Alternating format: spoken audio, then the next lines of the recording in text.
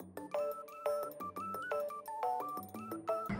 山口ふれあい館の開館40周年記念イベントは10月6日山口市宮の上の道館で開かれました。多くの来場者が特設ステージの音楽演奏や陶芸体験射的など縁日コーナーを楽しみました。道館は1984年10月3日に文化交流施設として開館しました。キノコをイメージした六角形の特徴的な2階建ての建物で温泉や陶芸室カラオケルームスタジオがあります。宮の蛍祭りや陶芸の同好会つくし会による展示販売を通じて地域住民に愛されています。ステージイベントには音楽を趣味とする宮の小の古谷信弘校長が幼稚園から歌を習っている双子の藤井亮也君美優さんと共に結成した宮の小トライアングルが登場。